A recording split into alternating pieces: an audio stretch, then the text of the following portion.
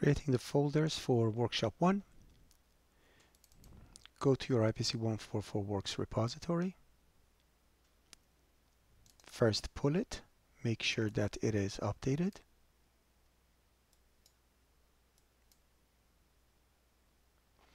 After pulling it and making sure everything is updated, open the directory. Inside the directory, create a new folder.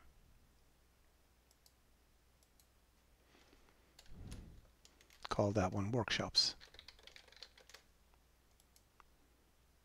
Inside Workshops, create a new directory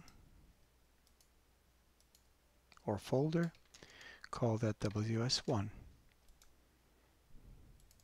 In here is where we are going to do the workshop.